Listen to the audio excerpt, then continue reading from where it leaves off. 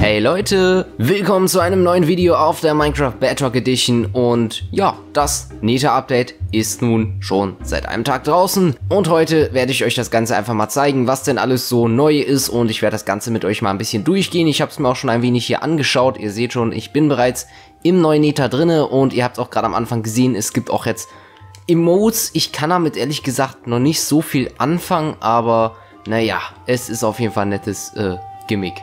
So, fangen wir erstmal ganz von vorne an. Der Startbildschirm hat sich natürlich mal wieder verändert. Ihr seht es im Hintergrund. Und die erste Neuerung, auf die wir hier direkt zugreifen können, ist einmal bei unserem Profil. Und zwar können wir dort nämlich dann auch direkt die Emotes auswählen. Und zwar seht ihr das hier, hier haben wir jetzt extra einen Tab. Aktuell gibt es auf der PlayStation 4 drei Emotes. Ich weiß nicht, wie das auf den anderen Plattformen ist. Ich gehe aber mal davon aus, dass es dort genauso ist. Und äh, ja, da sind wir auch schon beim ersten Punkt angelangt denn es wird sehr wahrscheinlich in Zukunft so sein, dass man sich auch weitere Emotes dann eben durch Echtgeld wieder kaufen kann, genauso wie die Kleidungsstücke. Halte ich ehrlich gesagt nicht so viel von und wie auch schon eben erwähnt, ich kann mit den Emotes an sich auch nicht wirklich viel anfangen, aber es ist auf jeden Fall ein nettes Gimmick und wer es braucht, ja, der kann es ja gern benutzen. Ich bin mir da ehrlich gesagt aber noch nicht so ganz sicher drüber, weil, naja, irgendwie finde ich, passt das echt nicht in Minecraft rein, aber was soll's. Server gibt es leider immer noch nicht. Äh, ja, da kann man halt einfach nichts zu sagen.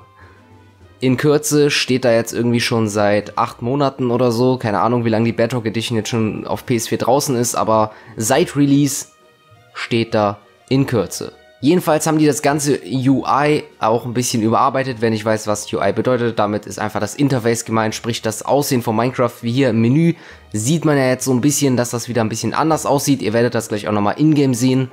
Hier mal als Beispiel, wenn wir jetzt einfach zwischen den Items hin und her switchen, seht ihr schon, dass das unten diesmal ein bisschen anders aussieht. Und zwar hat der Text des Items noch so einen, ja, schwarzen, durchsichtigen Hintergrund. Ist jetzt keine krasse Neuerung, aber ist halt auch etwas, was man vielleicht mal erwähnen sollte. Ich finde das eigentlich ganz schick, sieht irgendwie ja, ein bisschen besser aus, keine Ahnung. Und äh, ja, die Neta an sich muss ich, glaube ich, nicht großartig erklären. Es gibt natürlich neue Neta-Biome. In dem Fall habe ich jetzt hier nach ewig langer Sucherei auch mal so ein blaues, so einen blauen Forest gefunden. Ich weiß gerade nicht genau, wie der heißt. Aber irgendwie habe ich das Gefühl, dass die sehr, sehr selten sind. Und es gibt natürlich auch neue Festungen. Wir haben hier gerade das Glück, sehe ich gerade, dass hier direkt eine ist, Alter. Geil. Und äh, ja, die sehen komplett crazy aus. Dort kann man auch Loot finden. Dort gibt es auch diese Piglins. Ich habe jetzt gerade Mob-Spawning, glaube ich, aber aus. Jedenfalls gibt es dort auch diese Piglins und äh, ich denke mal, ihr wisst schon, dass man mit denen auch handeln kann. Und äh, dass diese einen aber auch angreifen, falls man irgendwie versucht, deren Gold zu klauen. Also da muss man auf jeden Fall aufpassen, dass man da nicht äh, Stress mit denen anfängt. Es gibt jetzt auch hier so ein Golderz, auch mega nice. Davor gab es ja immer noch das äh, ja, Quarzerz. Man kann natürlich jetzt auch Neverite finden, ist auch eine sehr, sehr große Neuerung. Das ist jetzt so das neue, seltenste Erz, aber auch krasseste Erz irgendwie, was es in Minecraft gibt. Und natürlich gibt es dazu auch eine passende Rüstung, und zwar die Neverite Rüstung. Die ist logischerweise besser als die Diamantenrüstung. Außerdem gibt es auch Neverite Werkzeuge und ein Neverite Schwert. Aber um das im Survival zu farmen, müsst ihr auf jeden Fall ein bisschen länger spielen, denn Neverite ist durchaus seltener.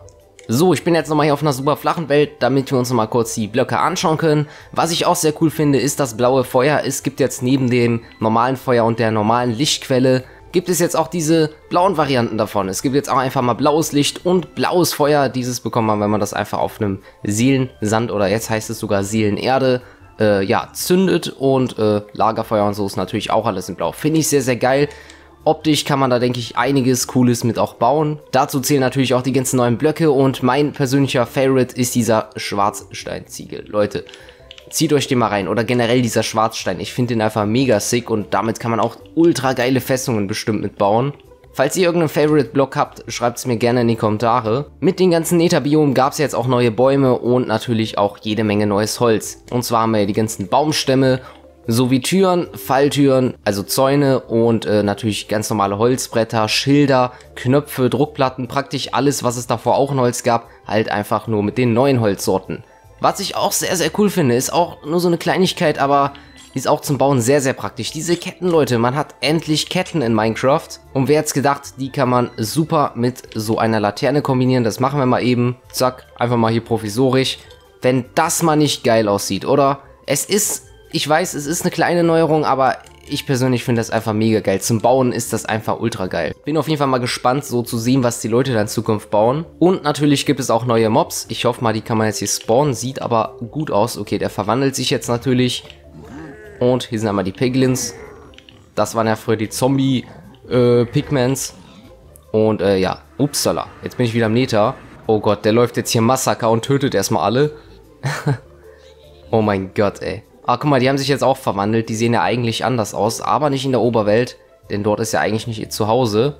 Es gibt jetzt auch diesen Respawn-Block für den Neta, den finde ich auch mega geil. Den kann man jetzt einfach mit Glowstone auffüllen und wenn man das im Nether macht, hat man sozusagen einen Respawn-Punkt für sich gesetzt. Normalerweise geht das ja nicht, wenn man sich in ein Bett legt, dann explodiert das ja direkt, aber dieser Spawner ermöglicht es jetzt. Jedoch müsst ihr das immer wieder neu auffüllen. Ihr seht hier, ich kann maximal viermal da draufklicken und dann füllt sich das hier auch so gelblich auf und jedes Mal, wenn wir jetzt hier sterben, geht eins von diesen, ja, eine von diesen Ecken wieder weg und irgendwann ist das komplett leer gesogen und dann müssen wir das wieder neu auffüllen, andernfalls spawnen wir hier nicht mehr. Auch eine coole Neuerung ist dieser Target-Block oder dieser Zielscheibenblock. Je nachdem, wo wir diesen treffen oder anschießen, gibt er ein Signal äh, aus. Hier in dem Fall natürlich in Form von Redstone und äh, ja, wenn wir jetzt beispielsweise genau in die Mitte schießen, dann gibt er ein stärkeres Redstone-Signal aus. Damit kann man auch, denke ich mal, sehr viele coole Sachen machen und da sind auch schon einige Command-Tutorials wieder geplant, also da könnt ihr auf jeden Fall gespannt sein, Leute. Außerdem gibt es auch neue geheime Secret-Blöcke, die man nur per Befehl im Jet wieder bekommt. Unter anderem diese Barrierenmauer. Wenn man diese hier platziert, macht jetzt nicht viel, weil ich noch im Kreativmodus bin. Jedenfalls, wenn ich jetzt im Survival-Modus wäre, könnte ich nicht mehr über diese Mauer gehen. Ich könnte jetzt natürlich noch um die herumgehen, aber nicht mehr darüber, geschweige denn darunter.